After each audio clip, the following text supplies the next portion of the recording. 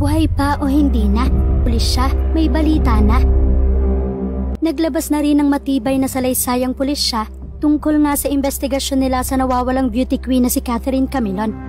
Dito nila binanggit kung ano ang posibleng lagay nito.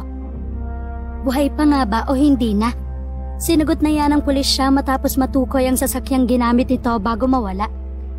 Isang pulis ang natag bilang person of interest sa kaso ng nawawalang Miss Grand Philippines 2023 candidate na si Catherine Camilon. Nangako si Philippine National Police Chief General Benjamin Acorda Jr. na papanagutin ng pulis kung may ebidensyang naguugnay sa kanya sa pagkawala ni Catherine. We will not tolerate any wrongdoing, sinabi ni General Acorda sa isang press briefing.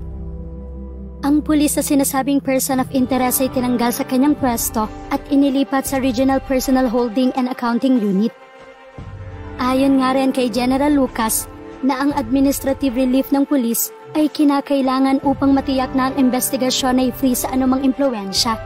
Ayon nga rin sa mga ito na ang pulis umano ay nobyo ni Catherine at napagkasunduan nilang magkita sa araw na naulat na nawawala ito. Sinabi ng pulisya na ibinigay ng pulis ang sasakyan na ginamit ni Catherine nang siya ay nawala. Ano nga bang bagong balita na inilabas ng pulisya? Kasabay ng paghahanap ng mga otoridad sa nawawalang beauty queen na si Catherine Camilon ang pagtunton sa kotse na kanyang gamit na lumilitaw na ibinigay lang sa kanya.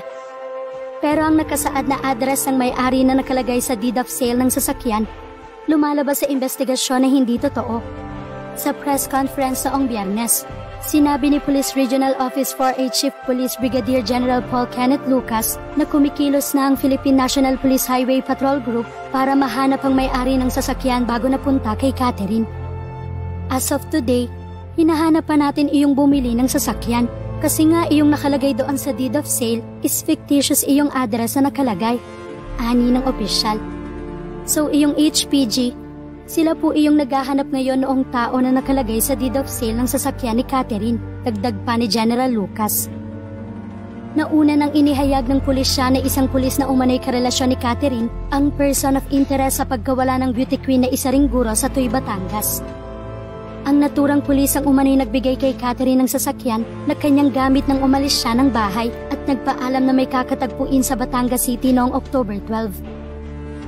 Sa CCTV footage sa mga lugar na dinaanan ng sasakyan ni Catherine, lumilitaw na may kasama siya sa sasakyan.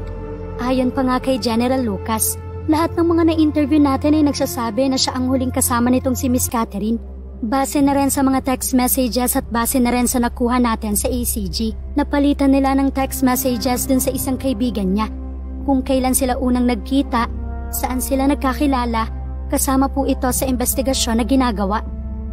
Inalis na sa pwesto ang pulisya at nasa holding unit ng Regional Office 4A habang nagpapatuloy ang investigasyon.